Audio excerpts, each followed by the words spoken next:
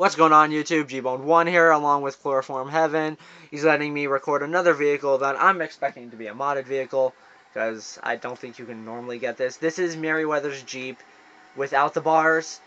Uh, looks insanely nice. The lime green really works here because of the um, nighttime. Uh, I think those are high-end wheels on it.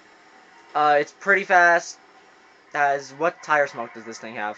Oh, it has green tire smoke right there. And uh, I mean, just pretty nice. It's a you know, it's better than having the bars. Um, hey, do you know what happens if you go to the paint spray?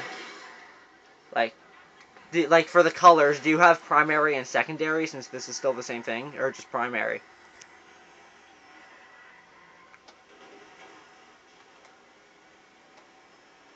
Oh, okay. So the secondary is like the bumpers, and yeah. All right. So basically, this is the no barred Merryweather Jeep, and yeah, pretty sick, pretty fast. Also, reminds me of a Hummer, but smaller. Anyway, Gbonne1 and Chloroform Heaven, and we are out.